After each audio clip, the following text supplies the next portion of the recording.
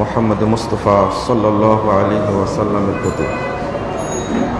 সম্মানিত মুসল্লিবৃন্দ তৌবার ফজিলত ও শর্ত। এ বিষয়টা নিয়ে আপনাদের সামনে খুদ্া পেশ করব ইনশাআল্লাহ। ওমা তৌফিকি ইল্লা বিল্লাহ আলিহে তাওয়াক্কাল তো আলিহে উনি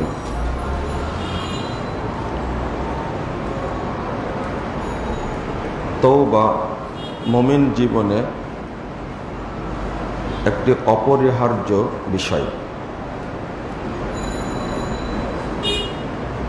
প্রত্যেক পাপ থেকে তৌবা করা ওয়াজিব।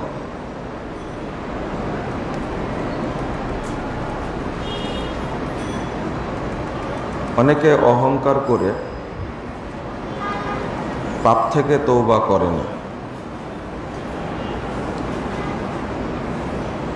আমাকে একজন প্রফেসর বলেছিলেন. যে আমি এবাদত করব কেন? আমি তো কোনো পাপ করি না।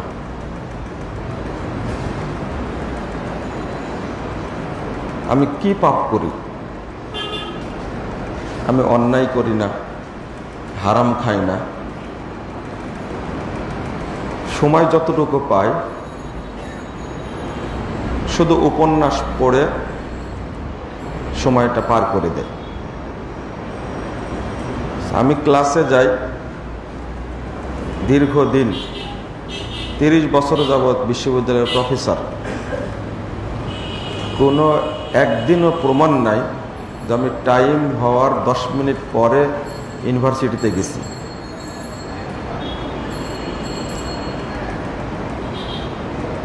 তা আমি তো পাপ করি না, এবাদত করব কেন?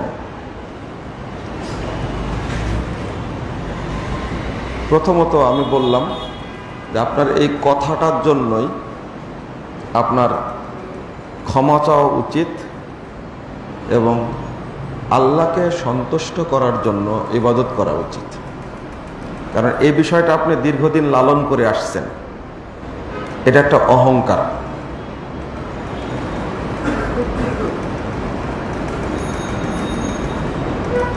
বরং এত দায়িত্ববান ব্যক্তি ওনার কাছে প্রশ্ন হলো যে আমি পাপ করিনি এবাদত করব কেন? আমি বললাম যে কোন নবীর আসলের পাপ ছিল। পাপ ছিল? না।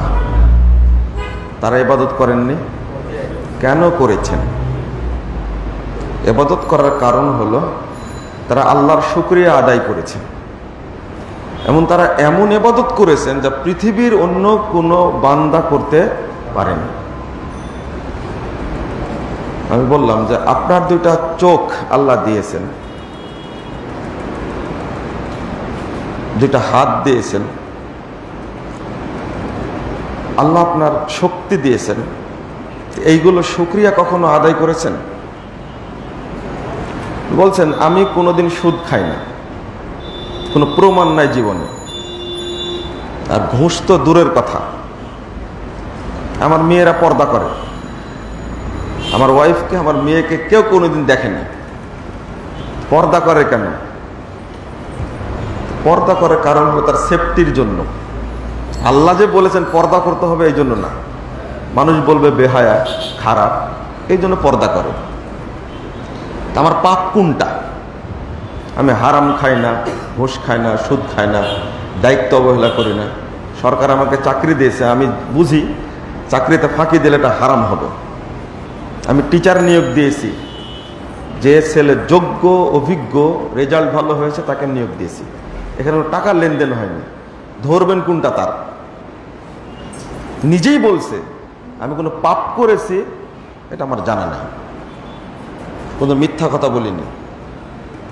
আমি কোনো গিবোধ করি না। আমি এবাদত করব কেন? বললাম এইগুলো থেকে যে আপনি বিরত আছেন এই তৌফিকটা কে দিয়েছেন তখন বলছে আল্লাহ দিয়েছে। তা আপনার এখনই তো সেজদা করা উচিত। আরও কথা বলেছেন। বরং যারা নামাজ পড়ে তারা ডিউটিটা ফাঁকি দেয়। মুখে দাঁড়িয়ে আছে। অনেকের মাথায় টুপি আছে। Class my channel. বেতন খায় না আরাম খায়। নিজেই বলছে। নামাজ পড়ে, দাঁড়িয়ে আছে, টুপি আছে ক্লাস নেয় না। আর বলে খুব দিনদার। বরং সালাদ পড়তে গিয়ে আধা ঘণ্টা টাইম লাগে। ও দুই ঘণ্টা পরে আসে অফিসে তো ফাঁকিবাজ না? পাপ আমার বেশি না তার বেশি। বুঝাবেন কি করে তাকে? আমি বললাম যে, আল্লাহ আপনাকে যে বিরত রাখছেন এগুলো থেকে, এই জন্য তো আল্লাহকে কৃত, আল্লাহর কাছে কৃতজ্ঞতা স্বীকার করা উচিত। ধরে দিলাম যে, মানুষের শরীরে যতগুলো জোড়া আছে, এর শুক্রিয়া আপনি আদায় করবেন কীভাবে? আপনি কি শুক্রিয়া আদায় করেন? না শুক্রিয়া আদায় করিনি। তাহলে এতদিন যে এবাদত করেননি, এই অহংকারটা নিয়ে আপনার বাকি জীবনটা, এ দ্বিগুণ এবাদত করলে ক্ষমা হবে বলে মনে করেন? বলছেন, না, ক্ষমা হবে না। প্রথমত এটা আমার অহংকার ভিতরে ছিল। আমি পাপ করিনি এবাদত করব কেন? আপনার হার্টের কোনো সমস্যা হয়নি? ডায়াবেটিস নাই? আপনার ক্যান্সার হয়নি? কিডনিতে সমস্যা হয়নি? আপনার উচিত আমি সব শারীরিক বিষয়গুলো মেনটেন করি। খাই, পরিমিত, ব্যায়াম করি, সব করি। এই যে তৌফিকটা যে আল্লাহ দিয়েছেন এই জন্য আপনার আজীবন আল্লাহর ইবাদত করা উচিত।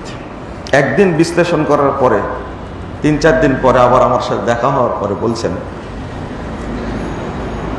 আমি যে আগে যেগুলো করিনি এইগুলো কি আল্লাহ মাফ করবেন? আলহামদুলিল্লাহ, আপনার এই অনুসূচনায় কারণেই আল্লাহ আপনাকে মাফ করে দিয়েছেন। ইনশাল্লাহ মাফ পাবেন।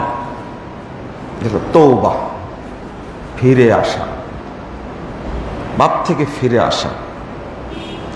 তৌবার জন্য পাপি বান্দার জন্য, অপরাধী ব্যক্তির জন্য আল্লাহ অনেকগুলো অপশন রেখেছেন। কিন্তু অপরাধী, পাপিষ্ঠ ব্যক্তি আল্লাহর কাছে ফিরে আসতে চায় না। আল্লাহকে বলতে চায় না। উনতত্ত্ব মানুষ খুব কম। আমি এটা পাপটা করেছি, উনতপ্ত হই আর পাপটা করব না। এই ধরনের কথা বলার লোক নেই। খুবই কম, থাকতে পারে খুবই কম। আল্লাহ বলেছেন কলিল উম্মিনী ইবাদিয়া শাকুর। আমার শুকুর গুজারি বান্দা খুবই কম। আল্লাহ বলছেন কলিল আম্মা তাদাক্কারুন। যারা আমার উপদেশ গ্রহণ করে, তারা সংখ্যায় খুবই কম।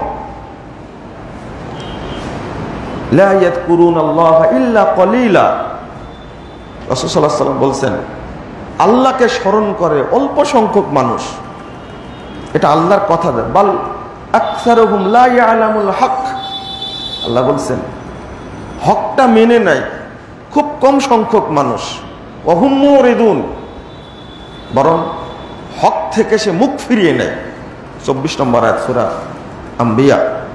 বাল আকসারহুম লা ইয়ালামুল হক। অধিকাংশ মানুষ সত্যটা গ্রহণ করে না, হকটা গ্রহণ করে না। হুম্মরিদুন বরং তারা হক থেকে মুখ ফিরিয়ে নেয়, শুক্রিয়া আদায় করতে চায় না। আল্লাহ রব্বুল্লাহ আলমিন বলছেন, সুরে জুমার তিপ্পান্ন নম্বর আয়াত, কুল ইয়া ইবাদি আল্লাদিনা আসরাফু আলা আনফুসিহিম। আপনি বলুন।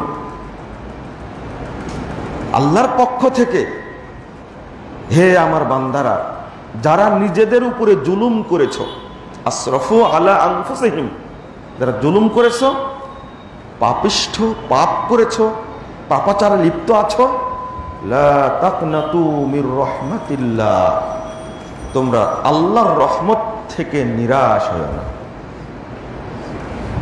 আল্লাহ তোমাকে রহম করবে না, এই চিন্তাটা করো না।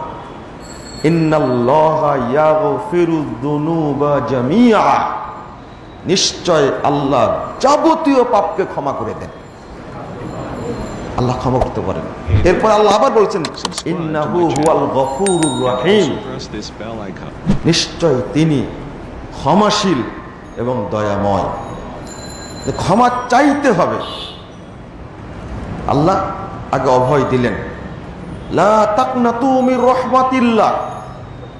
আল্লাহর রহমত থেকে তোমরা নিরাশ হইও না। আল্লাহর কাছে ফিরে যাও। আল্লাহ পাপ মাফ করবেন। এই গ্যারেন্টি আল্লাহ দিয়েছেন। কিন্তু আমরা সেটা নিতে পারিনি। নেওয়ার চেষ্টা করি না। আল্লাহ বলছেন সুরায় ফোরকান সত্তর নম্বর আয়াত ইল্লামান তাবা ওয়া আমানা ওয়া আমিলা আমালান সালিহা ফাউলাইকা ইউবাদদিলুল্লাহু সাইয়্যাতিহিম হাসানাত তওবার ফজিলত।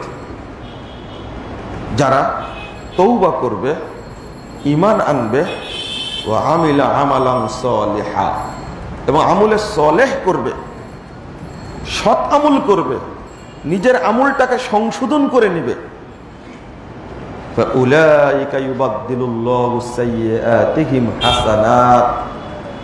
তারা জীবনে যত পাপ করেছে, সমস্ত পাপকে আমি আল্লাহ নেকিতে পরিণত করে দেব কোনো পাপ, আর পাপ থাকবে না, পাপগুলোই নেকি হয়ে যাবে। আমরা যেটা করি, সেটা হলো, যেটা অন্যায় করেছে ওটা বাতিল। ওটা চলবে না।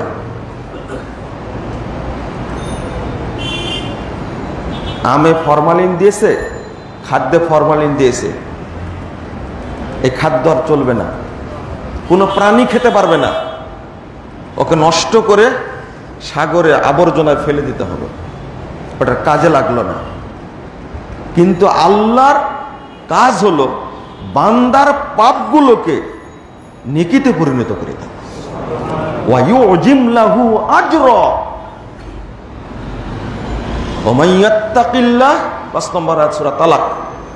যে ব্যক্তি আল্লাহ ভীতি অর্জন করে, আল্লাহ ভীতি অবলম্বন করে, ইউকাফির আনহু সাইয়্যাত তার জীবনের যত খারাপি সবগুলো আল্লাহ দূর করে দেন। ওয়ায়ুজিম লাহু আজরা।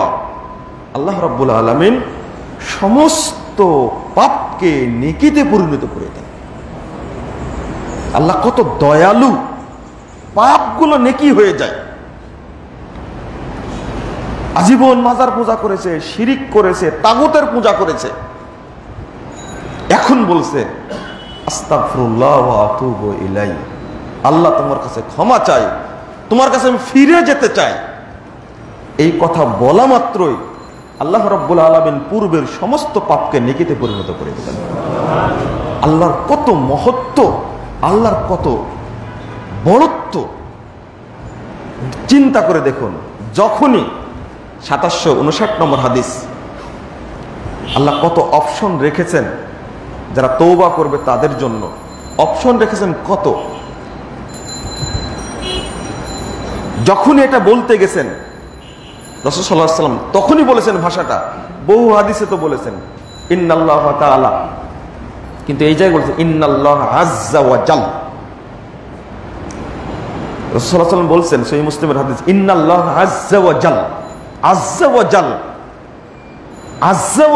শব্দ যোগ করলেন কেন?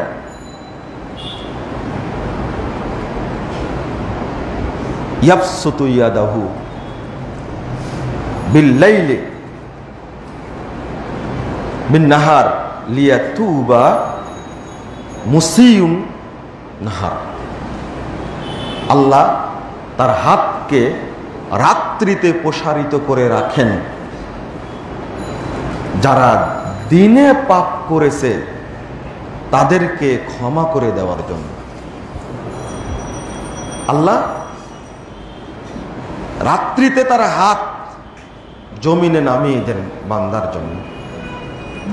যারা দিনের বেলা পাপ করেছে, তারা যেন রাত্রিতে ক্ষমা চায়, আমি আল্লাহ তাদেরকে ক্ষমা করে দিই আল্লাহ হাত প্রসারিত করে রাখেন।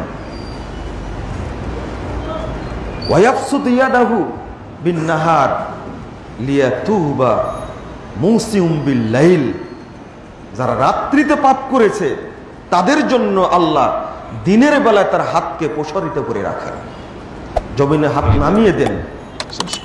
আর এটা করতে থাকেন। আল্লাহ তার ডিউটি পালন করছেন। হাত্তা তাতলু মিন একবারে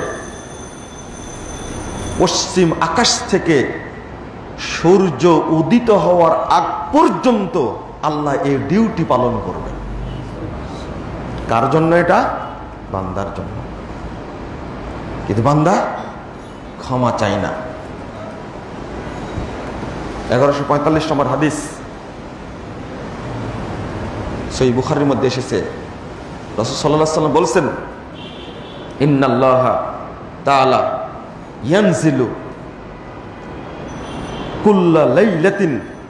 ফিস দুনিয়া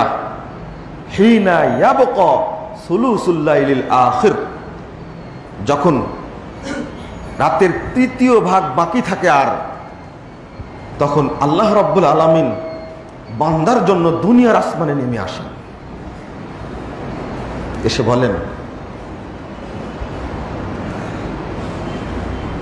কে আমার কাছে দোয়া করবে? মাইয়া দুনি ফাস্তাজিব আলাহ কে আমার কাছে দোয়া করবে, আমি তার জন্য তার দোয়া কবুল করব। কে আমার কাছে চাইবে? পাওতি আলাহ আমি তাকে দান করব।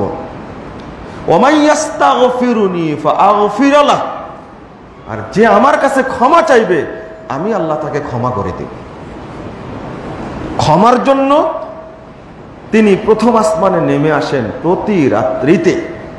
আর তৌবার জন্য আল্লাহ সরাসরি তার হাত রাত্রিতে এবং দিনে নামিয়ে রাখেন, যেন বান্দা তার কাছে তৌবা করতে পারে।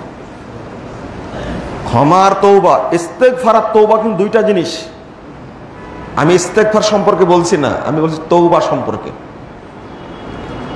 তৌবার জন্য চারটি শর্ত আছে। আর তৌবা কবুল হলো, এইটা বুঝার জন্য চারটি শর্ত আছে। শুধু তৌবা করলেই হবে না, আপনাকে নিশ্চিত হতে হবে যে আমার তৌবাটা আল্লাহর কাছে কবুল হলো কিনা। আমি বুঝাতে পারলাম কিনা জানি না। প্রথমত তৌবা করতে হবে। তৌবা করেই দায়িত্ব মুক্ত হলেন এমনটা না। আর একটা দায়িত্ব পড়ে গেল যে আপনার বুঝতে হবে, আপনাকে উপলব্ধি করতে হবে আমার তৌবা কবুল হলো কি না। কীভাবে বুঝবেন যে তৌবা কবুল হলো? এক নম্বর শর্ত আইয়াক লাগা আনিল মাসিয়া। তৌবা হওয়ার জন্য তৌবা পূরণ হওয়ার জন্য শর্ত চারটা। একটা হলো একেবারে পাপের মূল থেকে ফিরে আসতে হবে। পাপের মূল থেকে ফিরে আসতে হবে। পাপের মূল থেকে ফিরে আসা মানে আপনি আগে সুদ খেতেন। কিন্তু তোবা করার পরে সুদ খাওয়াটা. ফিফটি পার্সেন্ট বন্ধ হয়েছে বা সেভেন্টি পার্সেন্ট বন্ধ হয়েছে তাহলে তৌবা হলো না। আই একলা একলা মানে মূলোৎপাটন করা। শরীরে ক্যান্সার যদি হয় ওই অঙ্গটা কেটে ফেলতে হয়। যদি একটু থাকে কি হয়? ওখান থেকে আবার কি? দীর্ঘদিনের টিউমার অপারেশন করতে গিয়ে ডাক্তার বলছে যে ক্যান্সার পজিটিভ। আপনার তিরিশ বছর যাবে সুদ খেতে খেতে ওটা ক্যান্সার হয়েছে। তোবা করার পরে বলছেন, আমি ফিফটি পার্সেন্ট ফিরে আসছি। আরও ফিফটি পার্সেন্ট ফিরে আসার চেষ্টা করছি। তোবা হয়েছে? না। পাপের মূল থেকে ফিরে আসতে হবে। পাপের সাথে কোনো সংশ্লিষ্টতা থাকবে না। নাম্বার ওয়ান নাম্বার টু হলো, দুই নম্বর হলো, আইয়ান্দামা। আনফেলিহা এই পাপ করার কারণে মরা পর্যন্ত অনুতপ্ত হতে হবে। আপনাকে আফসোস করতে হবে। আর এত পাপ করতাম। তাহলে এক নম্বর হলো, পাপের মূল থেকে ফিরে আসা। দুই অনুতপ্ত হওয়া। আসেমা আল্লাহ ইয়াউদা ইলাইহা। তিন নম্বরটা হলো, ওই পাপ দ্বিতীয়বার আর করবে না বলে সংকল্প করা, দৃঢ় প্রতিজ্ঞ হওয়া। ওই পাপ আর জীবনে করবে না, দ্বিতীয়বার করবে না। অনেকে বলে আমি তো তৌবা করি, কিন্তু আবারও তো ওই পাপ করে ফেলি। তা তৌবা কি হয়েছে? শর্তই পূরণ হয়নি। ভাষাটা কীভাবে বলছে? আমি তৌবা করি, কিন্তু আবার তো ফিরে যাই পাপে।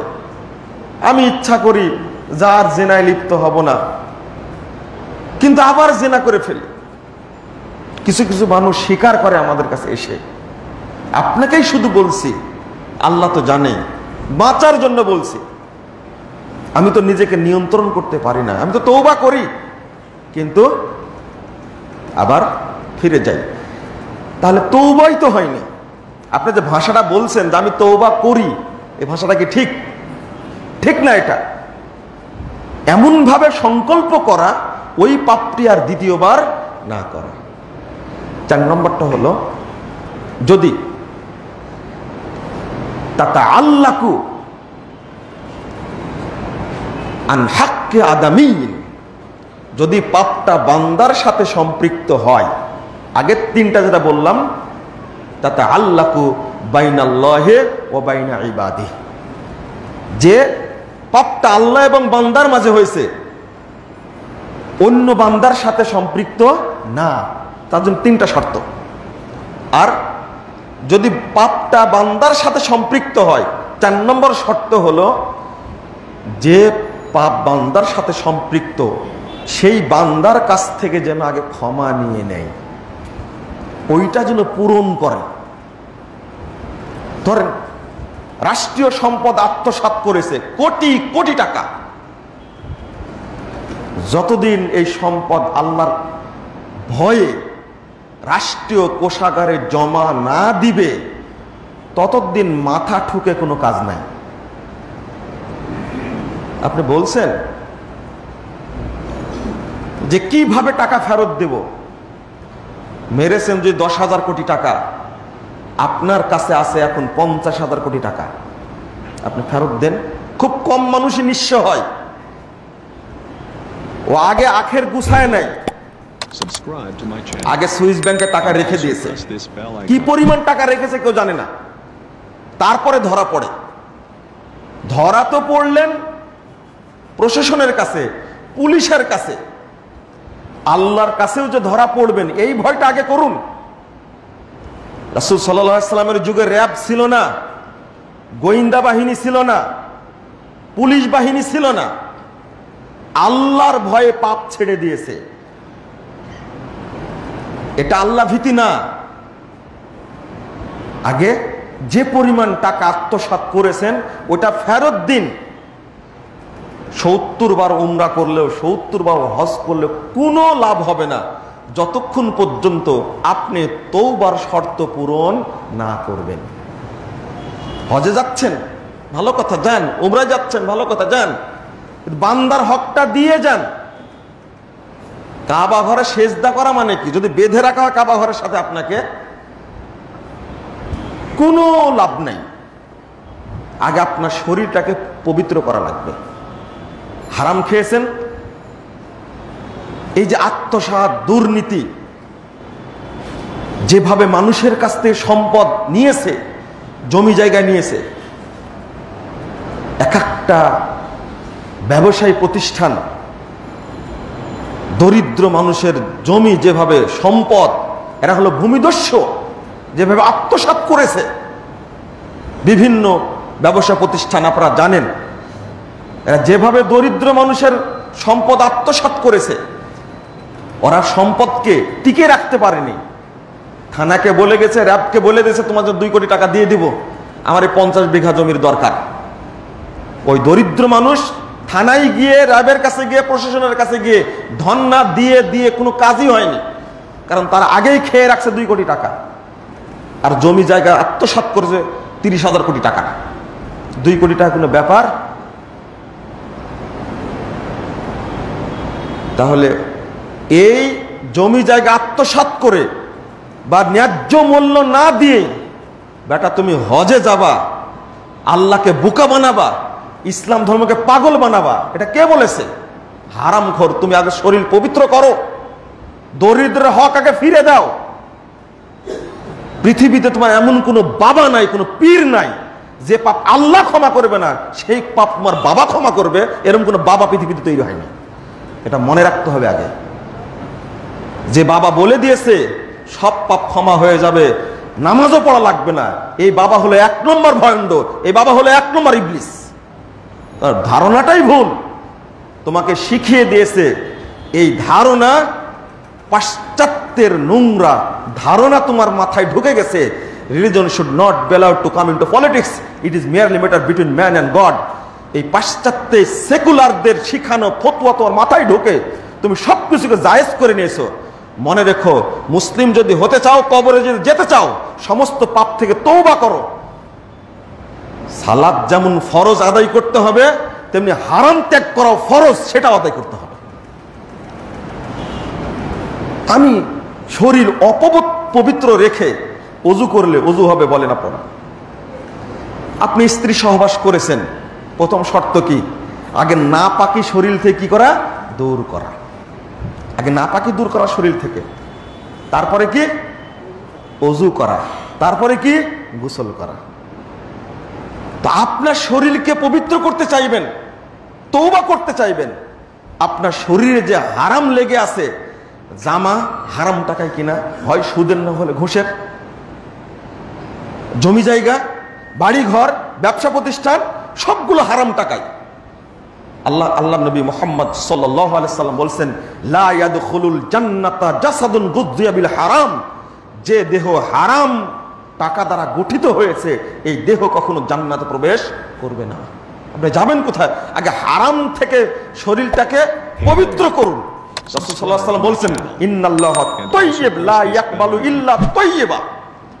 নিশ্চয় আল্লাহ পবিত্র পবিত্র বস্তু ছাড়া তিনি কবুল করেন না। আগে এই মানুষের কাছ থেকে আত্মসাৎ করা সমস্ত টাকা ফেরত দিন। একজন সাধারণ পুলিশ, সাধারণ কনস্টেবলের কোটি কোটি টাকা, সে কোটি কোটি মালিক হয় কি করে? হয় জনগণের পয়সা আত্মসাৎ করেছে, না হলে রাষ্ট্রীয় সম্পদ আত্মসাৎ করেছে? কত প্রফেসর এইগুলোকে আর বলার দরকার আছে? এগুলো ওপেন সিক্রেট হয়ে গেছে। ওপেন বলার দরকার নাই। যারা বক্তব্য শুনবেন, তারা নিজেরা পবিত্র হওয়ার চেষ্টা করুন। তাহলে তোবার শর্ত কয়টা হলো? চারটা। এক নম্বর, পাপের মূল থেকে ফিরে আসা। দুই নম্বরটা হলো, মরা পর্যন্ত অনুতপ্ত থাকা। তিন নম্বরটা হলো, ওই পাপ দ্বিতীয়বার করবে না বলে সংকল্প করা। দৃঢ় সংকল্প করা। একবারে প্রতিজ্ঞাবদ্ধ হওয়া আমি আর এই পাপে ফিরে যাব না। তিন নম্বরটা হলো, বান্দার হক থাকলে সেটা কি করা? আদায় করা। কয়েকটা দিক আছে বান্দার হকের।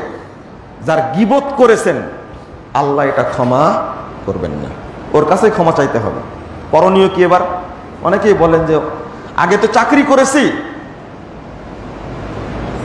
একজন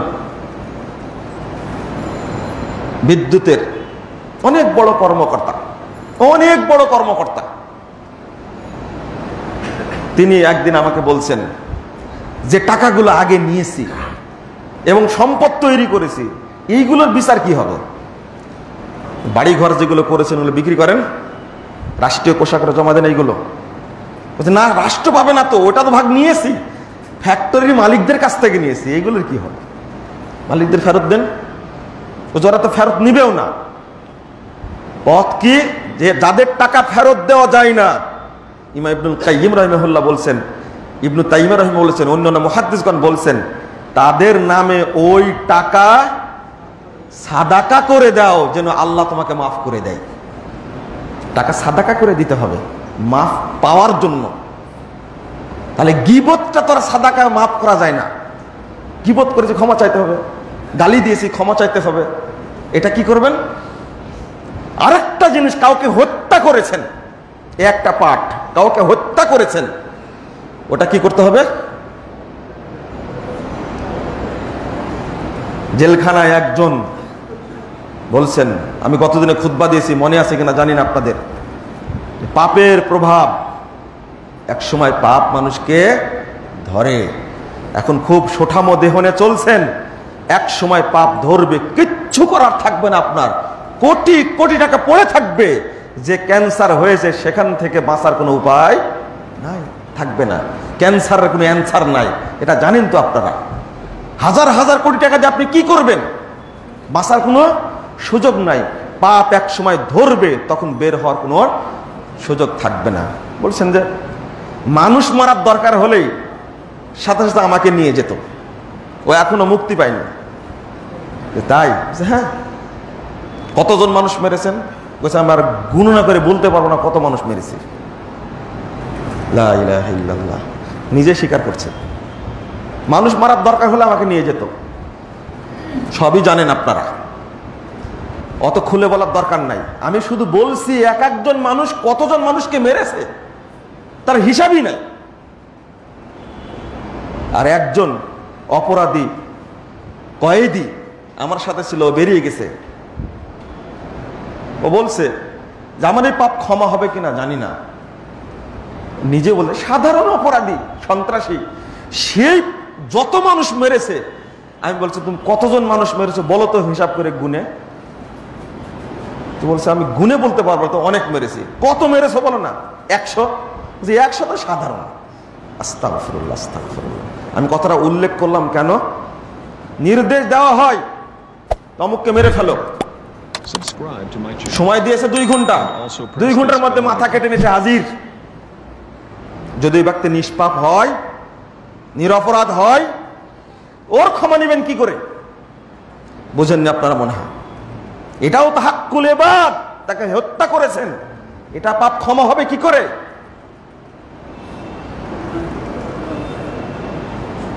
বহু অপরাধের জায়গা তো। একজন বলছেন, মনে হয় এই অপরাধে আমাদের শাস্তি হয়ে যাবে। কিন্তু একে তো আমি মারিনি। একে তো আমি মারিনি। একজন বড় পুলিশ অফিসার, একে তো মারিনি। কিন্তু মনে হচ্ছে এই পাপে আমার সাজা হয়ে যাবে। যাতে হিসাব করে দেখেন তার আগে কাউকে মারেছেন কিনা। বলছে, মেরেছি, কিন্তু যে পাপে শাস্তি হচ্ছে আমার, একে তো মারিনি। আপনি বুঝলেন কি করে যে এই পাপে আপনার শাস্তি হবে? আগে যেটা মেরেছেন, এখন আল্লাহ ধরেছে, হয়তো মুক্তি পাবেন না। নিজেই বলেছে এই এই মামলায় আমার ফাঁসি হয়ে যাবে। নিজেই বলছে। তাহলে এইটা মারেননি, ঠিক আছে। আগে যাকে মেরেছেন, সেই পাপটা হয়তো ঘিরে ধরেছে আপনাকে, হতে পারে। চুপ, আর কথা বলেন না।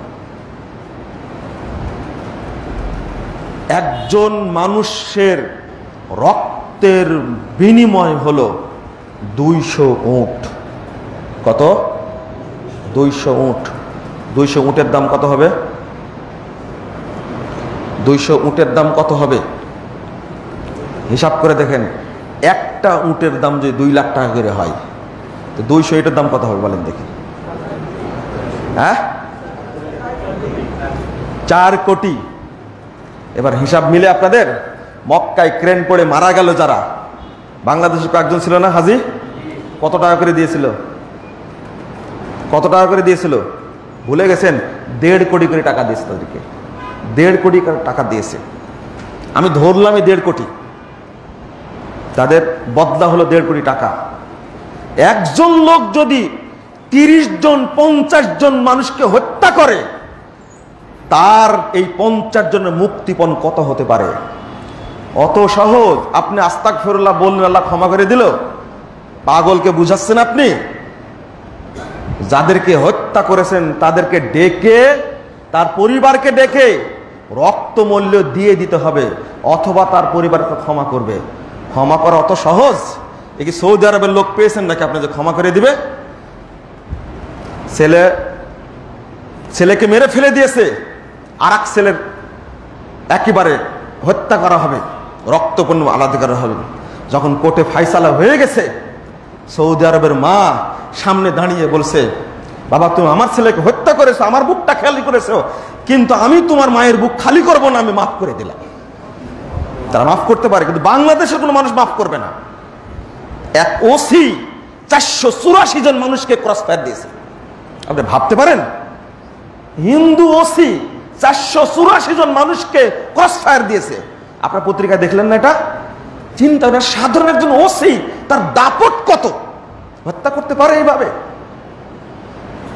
এই জন্য বিচারের আওতায় নিয়ে এসে হত্যা করতে হয়। এক সময় জেএমবিদের দেখেছি, রাজশাহী, তারপরে কুষ্টিয়া ঝিনাইদা ডাইরেক্ট মানুষকে নিয়ে এসে টাঙ্গে পিটায়া পিটায় হত্যা করেছে। করেন এক সময় হত্যা? কে জানলো এই লোকটা হত্যার যোগ্য অপরাধী? কে জানলো? তুমি তো জানার অধিকার নাই, আগে জানতে হবে। আমি এই কথাটুকু বলতে গিয়ে অনেক দূরে চলে গেলাম। যদি একজন লোকই চারশো পাঁচশো মানুষকে হত্যা করে, সাধারণ কর্মকর্তা হিসাবে, যদি বড় কর্মকর্তা হয়, তারা কতজনকে মারে, আল্লাহ পাকি ভালো জানে। তারা একটুকু ভয় করে না, মরবে তো। রক্তমূল্য সবাইকে দেওয়া লাগবে, দুইশোটা উটের রক্তমূল্য দেওয়া লাগবে তাকে। হিসাব করে দেখেন কত কোটি টাকা হচ্ছে। ওর জীবনের সব সম্পদ বিক্রি করলেও কি হবে? না না। মাপ পাবে কি করে? আল্লাহর কাছে রুজু হওয়া উচিত।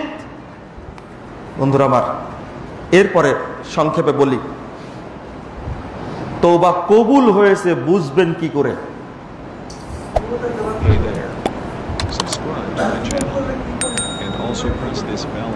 বলে দিলাম, গিবত করলে, গালি দিলে, বদনাম করলে সাদাকা দিতে হবে। ওকে পাচ্ছেন না আপনি। যদি পান, তাহলে ক্ষমা চাইতে হবে। কথা বললেন, অপবাদ দিলেন অপবাদ এত খারাপ।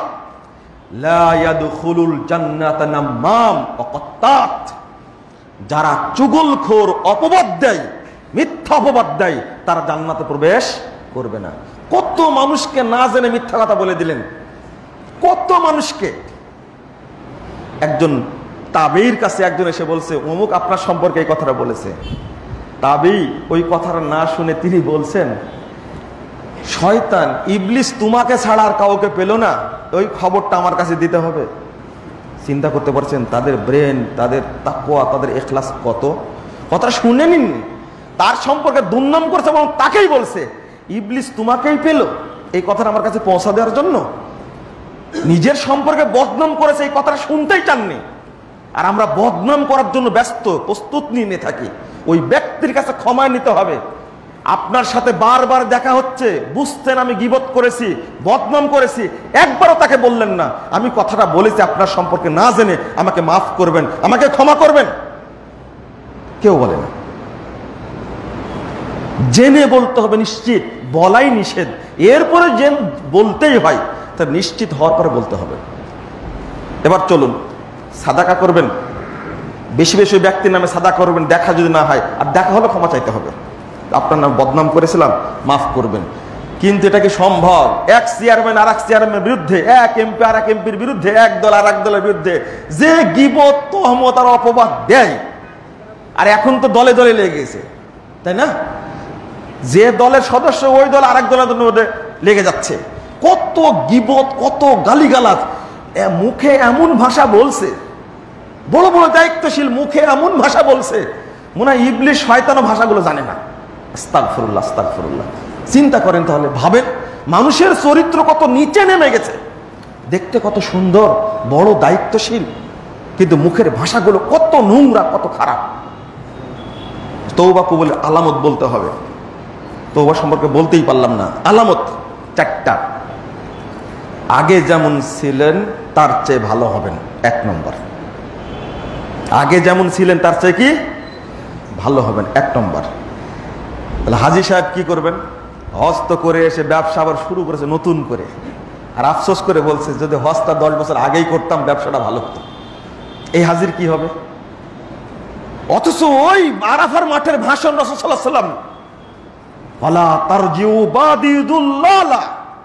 আজকের দিনের পরে আর তোমরা পাপ কাজে লিপ্ত হয়েও না, পাপ কাজে নিমজ্জিত হয় না। ওই আরাফার মাঠেই বলছেন আর হাজি সাহেব এসে শুরু করেছেন আরও যত অবৈধ কুকর্ম, আকাম কুকাম সব শুরু ফিরুল্লাহ হজ বাতিল। হজ বাতিল। হাজি সাহেব আপনাকে আবার হজে যেতে হবে। নামই দিয়েছে আল্লাহ তো হজ থাকবে কোথায়? তাহলে এক নম্বর শর্ত হলো মানে আলামত হলো, নিদর্শন হলো. তৌবা করার পরেও ভালো হয়ে গেছে। ভালো হওয়া বলতে কি বুঝেন? ভালো হওয়া বলতে কি বুঝেন? না। না। ওটা তো শর্তের মধ্যে চলে গেছে। ভালো হওয়া বলতে দুইটা নিদর্শন মনে রাখবেন।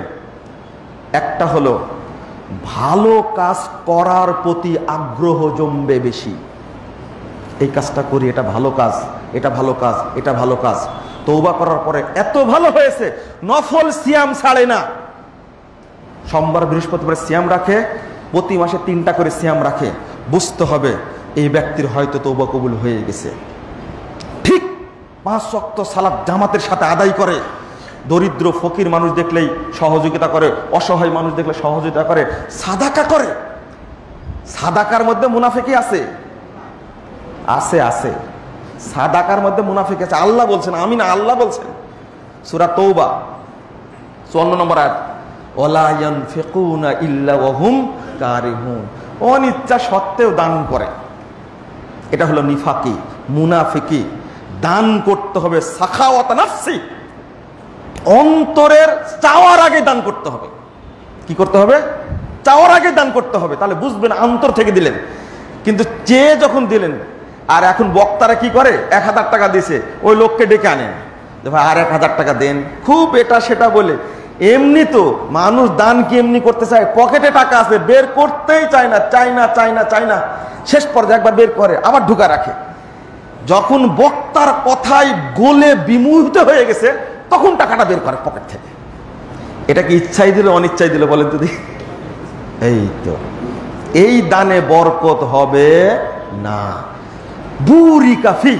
যদি সাখাওয়াত থাকে মনের মধ্যে, উদারতা থাকে, একেবারে মনটা স্বচ্ছ করে, উদার মনে যদি কেউ দান করে, আল্লাহ তাদের বরকত দান করে। আমাদের দানে বরকত না হওয়ার কারণ হলো দান করে, আফসোস করি। টাকাটা মানে বেশি দিয়ে ফেললাম। অল্প দিলেও তো হতো। দুই হাজার টাকা দিয়েছে, এই নিয়ে অনেক চিন্তা করছে। বাড়ি যাওয়া পর্যন্ত চিন্তা করছে। তাহলে কি এটা? তারা দান করে, কিন্তু কি?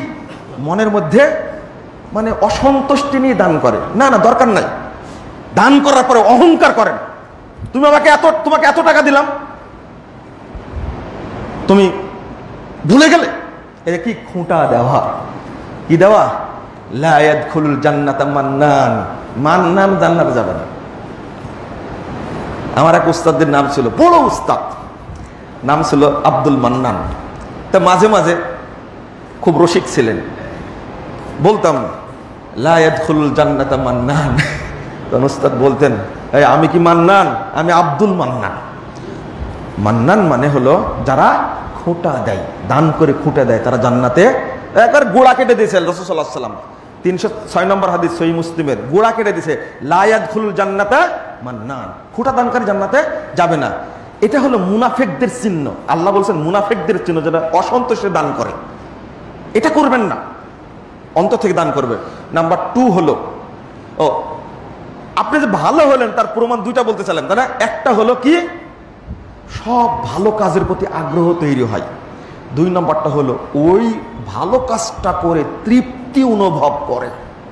এবার বুঝতে পারছেন? আগ্রহ একটা, তৃপ্তি আর একটা। আপনার কাজটা করার প্রতি আগ্রহ, সালাদ ঠিকই পড়তে যাচ্ছেন। কিন্তু সালাদ পড়ে তৃপ্তি পাচ্ছেন না, তাহলে বুঝবেন তৌবা কবুল দুই নম্বরটা হলো. ভয় করতে হবে আল্লাহকে। কতক্ষণ?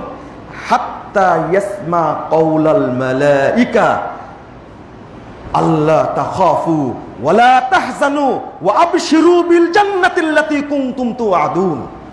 এই কথা ফেরেশতারা কানে কানে বলার আগ পর্যন্ত আল্লাহকে ভয় করতে হবে।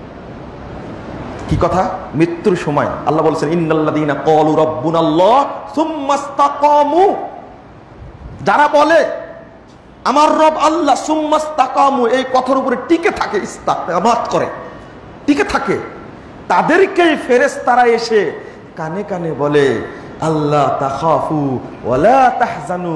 তুমি ভয় করো না, তুমি চিন্তা করো না। ও আবশিরু বিল জান্নাহ। বরং তুমি জান্নাতের সুসংবাদ গ্রহণ করো। আল্লাতি কুমতুম তু আদুন যেটা তোমাদেরকে ওয়াদা করা হয়েছে, দেওয়ার ওয়াদা করা হয়েছে। নাহনু আউলিয়াকুম ফিল হায়াতিদ দুনিয়া ওয়া ফিল আখিরা। ওয়ালাকুম মা তাশতাহি ফি ওয়ালাকুম ওয়ালাকুম মা তাশতাহি আনফুসুকুম। ওয়ালাকুম মা তাদাউন আল্লাহ বলছেন, সূরা হামিম সাজদা 30 31 32 নম্বর আয়াত। আল্লাহ বলছেন ফেরেস্তারা তাকে বলে, ভয় করো না, দুনিয়াতেও আমরা তোমার বন্ধু ছিলাম, আখেরাতেও আমরা তোমার সাথে থাকব। আর জান্নাতে গিয়ে তোমার মন যা চাইবে সেটাই পাইবে। অকুম তুম্মা তার দাউন এবং যা তোমাদেরকে দেওয়ার ওয়াদা করা হয়েছে ওইটাও পাবা। আর যা তোমার তখন চাইবে তোমার মন সেটাও পাবা। মানে বোঝাতে গেল না। আল্লাহ যেগুলো দিবেন সেগুলো তো পাবই, তাই না? জান্নাতে ঢোকার পর যা মন চাইবে আল্লাহ সেটাও দান করবেন। আল্লাহ আকবার, জান্নাত কি জিনিস? নজুলাম মিন গফুরির এরপর আল্লাহ বলছেন, এই সবই হলো আল্লাহর পক্ষ থেকে তোমাদের জন্য মেহমানদারি। আল্লাহ আপ্যায়ন করে মেহমানদের করবেন। আমরা বুঝতে চাই না বা বুঝি না আমরা। তিন নম্বরটা হলো, আপনার অন্তরে পাপের কোনো মোহ থাকবে না। এক নম্বরটা বলেছি, আগের থেকে ভালো হওয়া। ভালো হওয়ার দুইটা নিদর্শন বলেছি, কি? এবাদতের প্রতি আগ্রহ আর এবাদত করে কি? তৃপ্তি অনুভব করা। তাহলে বুঝবেন ভালো হয়ে গেছেন। দুই নম্বরটা হলো, ভয় রাখতে হবে, ওয়াবুদু রব্বাকা হাত্তা ইয়াতিয়াকাল ইয়াকিন। একবার মৃত্যু পর্যন্ত আল্লাহর ইবাদত করতে হবে, ভয় থাকতে হবে, আল্লাহর ভয় ইবাদত করতে হবে। তিন নম্বরটা হলো, যে পাপগুলো ছেড়ে দিয়েছেন, এই পাপগুলো করার প্রতি যে আগ্রহ, লোভ, আপনার অন্তরটা সম্পূর্ণ এই পাপগুলো থেকে লোভ শূন্য হবে। কোনো খাহেস জন্মে না যে পাপটা করি। যখন বুঝবেন, জেনা করতে আবার ইচ্ছা করছে, সুদ খেতে আবার ইচ্ছা করছে, যে ইচ্ছা, মনের ইচ্ছা অন্তরটাকে ইচ্ছা থেকে খালি করতে হবে, সমস্ত পাপের ইচ্ছা থেকে। পাপের প্রবণতা থেকে অন্তরকে খালি করা। যদি খালি হয়, তাহলে বুঝ- যদি আবার হারাম খেতে ইচ্ছা করে আর আবার মানুষ হত্যা করতে ইচ্ছা করে, তাহলে বুঝবেন কি, আমার তৌবা কবুল হয়নি। চার নম্বরটা হলো, মুখে মুখে সব সময় বলে, আস্তাগফিরুল্লাহ আস্তাগফিরুল্লাহ, ওয়া আতুবু ইলাই আস্তাগফিরুল্লাহ আল্লাযী লা ইলাহা ইল্লা হুয়াল হাইয়ুল কাইয়্যুম, ওয়া আতুবু ইলাই আর বেশি বেশি সিজদা করে, নফল ইবাদতগুলো বেশি বেশি করে। এই চারটা জিনিস যদি তার মধ্যে ফুটে উঠে বুঝতে হবে, তার তোবা কবুল হয়েছে। এবার স্পষ্ট হয়েছে, চারটা শর্ত পূরণ করতে হবে। পূরণ করার পরে দেখতে হবে আমার মধ্যে এই শর্তগুলো ফিরে এসেছে কিনা। আমরা পাপ থেকে বিরত থাকার চেষ্টা করি না, আমরা আল্লাহকে ভয় করার চেষ্টা করি না। রসুল্লাহ সাল আলী সাল্লামের কাছে তৌবার বিষয়টাই আর একদিন বলার চেষ্টা করব ইনশাল্লাহ কিন্তু আজকে আমি বলে শেষ করতে পারলাম না যে তৌবার গুরুত্ব কতটুকু। একজন ব্যক্তি আল্লাহ রাসুলের কাছে এসে বলছেন, আল্লাহ রাসুল, পাপ যত আছে পাপ নামের আমি সবই করেছি। সবই করেছি। প্রয়োজনীয় পাপ, অপ্রয়োজনীয় পাপ সবই করেছি। তা আমার কি হাল্লাহ তৌবা এর জন্য কি তৌবা আছে? রসদ আলাইসাল্লাম বলছেন, না, তার জন্য তৌবা আছে। তখন বলছেন, আ গদারাতি, ও ফজারাতি, আপনি বলেন কি, আমি যেগুলো বড় অন্যায় করেছি, চলো ফাজেরই কাজ করেছি এইগুলো কি ক্ষমা হবে? আল্লাহ বলছেন, শুধু ক্ষমা হবে না ইয়াজ আলু হুন্না খয়রাত কুল্লাহুন্না। আল্লাহ রব্বুল আলমিন সব পাপগুলোকে তোমার নিকিতে পরিণত করে দেবে শুধু ক্ষমাই হবে না, নেকিতে পরিণত করে দেবেন। আমরা বেশি বেশি তৌবা করার চেষ্টা করব। আল্লাহ রব্বুল আলমিন আমাদের জন্য নেক বান্দা হিসাবে কবুল করে নেন। আল্লাহ যেন আমাদের সমস্ত পাপ থেকে বিরত থাকার তৌফিক দান করেন। আল্লাহ যেন আমাদেরকে তৌবায় নাসুহা করার তৌফিক দান করেন। এই তৌবায় নাসুহা কি? আর একদিন বলার চেষ্টা করব ইনশাল্লাহ সংক্ষেপে আমি দুইটা কথা আপনাদের বলব এবার। এক নম্বর হলো, মসজিদ সংক্রান্ত। আপনারা মসজিদের জন্য অনেক কিছু করেছেন আরও করবেন ইনশাআল্লাহ। মসজিদের কাজটা যেন রানিং হয়, এই দোয়াটা আপনারা করবেন। মসজিদের কাজ করতে গিয়ে কিছু জটিলতা আমরা আগে ফেস করেছি, যার কারণে কাজটা শুরু হয়নি। জমিটা কিনতে অনেক যেমন জটিলতা ছিল, আস্তে আস্তে অনেক জটিলতা গেছে। এমনকি আপনারা জানেন যে পাইলিং করার সময়ও কাজ বন্ধ হয়ে গেছিল। আপনাদের অনেক কিছু জানতে চান আপনারা, কিন্তু অনেক কিছু বলা যায় না। যারা একান্ত জানার প্রয়োজন মনে করেন, সহযোগিতা করার মনে, প্রয়োজন মনে করবেন দয়া করে আমাদের সাথে একটু কন্ট্যাক্ট করলে সুবিধা হয়। তাহলে আপনাকে ওই বিষয়টা বলতে পারব। ভুল ধারণা নিয়ে থাকা উচিত না। এক নম্বর, আর কেউ ভুল ধারণা দিল আর আপনি শুনে নিলেন, এটাও হওয়া উচিত না।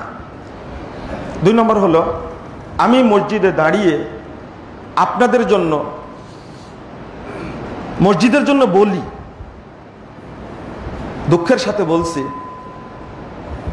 আমাকে ধমক দেওয়া হয়েছে, এজন্য আমি কষ্ট পেয়েছি।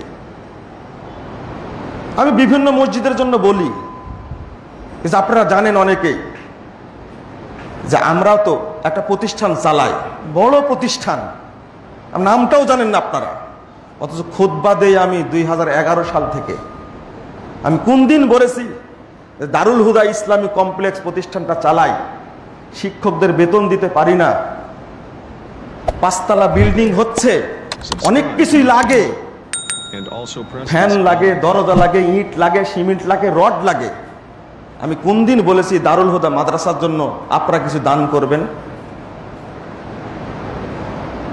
আমাকে যে ধমকটা দিলেন এই ধমকটা নেওয়ার যোগ্য কি আমি? আপনারা কিছু বলবেন বলেই আমি বলি না। অন্যরা বলে আমি কোন দিন বললাম? আমি কোন দিন বললাম যে এই বইটা আপনারা কিনে নিয়ে যাবেন, আমার লেখা বই এটা কিনে নিয়ে যাবেন? কোন দিন বললাম আমি? আমি বলি আলামিন মসজিদের জন্য, তারপরে মডেল মাদ্রাসার জন্য বলি। এটা আপনারা জানেন? অন্য কোনো মসজিদের লোক যদি এসে হাত পাতে, তখন তাদের কথা বলি। তো এইটা নিয়ে যদি আপনারা আলোচনা করেন, আমি খুব কষ্ট পেয়েছি। এটা উচিত না আগে যাচাই করে দেখুন।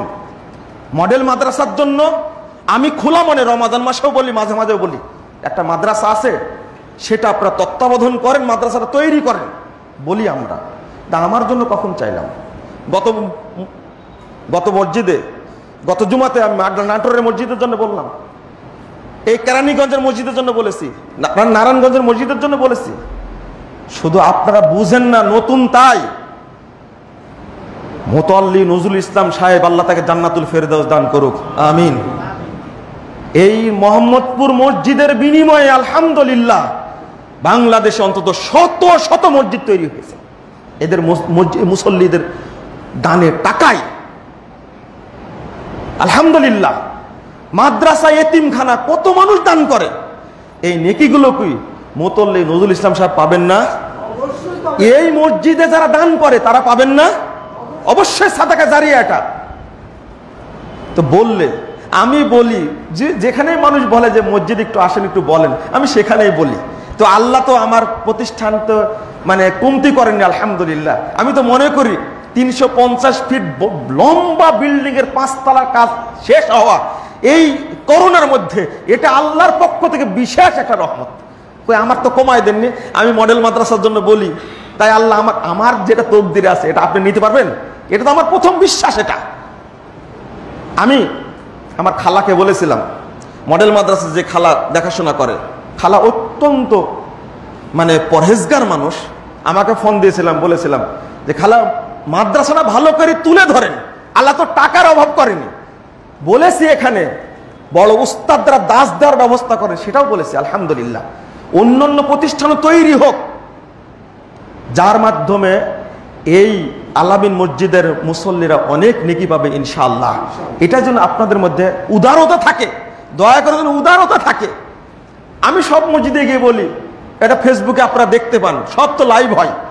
সব মসজিদের জন্য বলি, এই এতিমখানার জন্য বলি, এই মসজিদের জন্য বলি। আপনি মনে করতে পারেন যে আপনার জন্য চান না কেন? আমার জন্য চাই না কেন? আপনার জন্য আল্লাহ কবুল করলে ওইটা সমপরিমাণ আমাকে আল্লাহ দিবেন। আমার চাইতে অসুবিধা কি? আলহামদুলিল্লাহ। আপনার জন্য চাইলাম আল্লাহ আমাকে দিবেন। আলহামদুলিল্লাহ। আল্লাহ রহম। আর একটা বলব, মা বোনরা একটু সমস্যা করে সালাতের আহকামগুলো না জানার কারণে। সেটা হলো, আপনাদের মধ্যে একটা অভ্যাস আছে। সেটা হলো, যে যে জায়গায় বসেন মসজিদে এসে, দেখছি পাঁচ, সাত বছর যাবত ওই জায়গাতেই বসে। এটা নিষেধ, আপনারা জানেন কি এটা? হ্যাঁ? এটা নিষেধ। জায়গা চেঞ্জ করে বসতে হবে। এক সময় ডান পাশে বসবেন, এক সময় বাম পাশে বসবেন। আল্লাহ রাসূল আলাইহি সাল্লাম বলছেন, উটের মতো একটা জায়গা মসজিদে নিয়ে বসে থাকে কি? নিষিদ্ধ, এটা চলবে না। তো যিনি যখন আসবেন, মা বোনদেরকে বলব, আপনারা পরস্পরের সমন্বয় করে কাজ করবেন। আর কাতারের সামনে দিয়ে যাওয়াটা একটা নিষিদ্ধ কাজ এটা। মা বোনদেরকে বলব, আপনার মাসালাগুলি জানবেন, জেনে এইটা আমুল করার চেষ্টা করবেন। কোনো কোনো বোন, দিনী বোন আমাকে বলেছেন যে কিছু মহিলার আচরণের কারণে আমরা মসজিদে যেতেই পারি না। আমি শুনেছি শুধু, বিশ্বাস করিনি। আমি শুনেছি, বিশ্বাস করিনি। যত কড়া করে বলছে হয়তো অত কড়া না। মা বোনরা অত কড়া না। আলহামদুলিল্লাহ, মা বোনদের মধ্যে অনেকে আছে যে আল্লামিন মসজিদের জন্য অনেক দান খায়রাত তুলেন তারা। আমি তাদেরকে নিরুৎসাহিত করব না। প্রত্যেককেই বলব আলামিন মসজিদের কাজটা কমপ্লিট করার জন্য এবং মসজিদটা সুন্দরভাবে তুলে ধরার জন্য আপনারা নিজেরাও দান করবেন, মানুষকে উৎসাহিত করবেন দান করার জন্য। এটা আপনাদের প্রতি অনুরোধ থাকবে। আর দোয়া করবেন আপনারা যেন আল্লাহ রব্বুল আলমিনের মসজিদটাকে কবুল করেন। আমিন। আপনারা সেদিনে খুদ্াই বলতে পারেন, সালাতের পরে বলেছিলাম, আমি আসলে আমাকে মেসেজ দিয়েছে, জানতে পারিনি। গতদিনে মুতল্লি সাহেবের শ্যালক মারা গেছেন, আমরা সালাতের পরে জানাজা পড়েছি। ওনার সাথে আমার অনেক আগে কথা হয়েছে, মাঝখানে আন্টি আমাকে বলছিলেন, আমার ভাইটা খুব অসুস্থ, তুমি দোয়া করো, ক্যান্সারে আক্রান্ত ছিলেন। আমি তা দোয়া করি, আল্লাহ রব্বুল আলমিন তাকে যেন শাহাদাতের মর্যাদা দান করেন। আমিন রব্বুল আলমিন। আল্লাহ রব্বুল আলমিন যেন তাকে ক্ষমা করেন এবং জান্নাতুল ফেরদাউস দান করেন, আমিন। পাশাপাশি আমাদের যারা অসুস্থ আছে, আল্লাহ তাদেরকে যেন সুস্থ করে দেন। আল্লাহ যেন তাদেরকে মাফ করে দেন আর যারা মারা গেছেন, আমাদের দিনই ভাই ও বোনেরা, আল্লাহ যেন সকলকে মাফ করে তাদেরকে জান্নাতুল ফেরদাউস দান করেন। আমিন। রব্বাল আলমিন। আকুল কাউলি হাদা, আস্তাগফিরুল্লাহ আলাইকুম লাকুম ওয়া লিসাইর